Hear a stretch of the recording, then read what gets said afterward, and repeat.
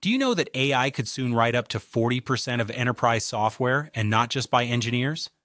Welcome to Vibe Coding, where marketers, ops teams, even designers can spin up apps using plain English.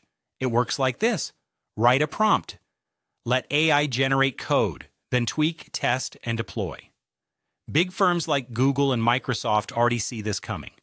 By 2025, up to 30% of their code bases could be AI generated and companies like Choice Hotels are now training non tech staff to build internal tools with vibe coding. Platforms like Cursor raised $900 million, betting this will be the new normal.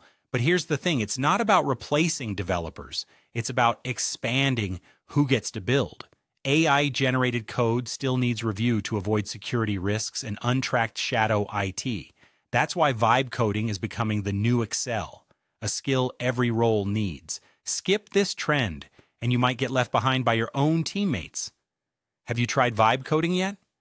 Drop a comment and tell us what you've built or want to build with AI.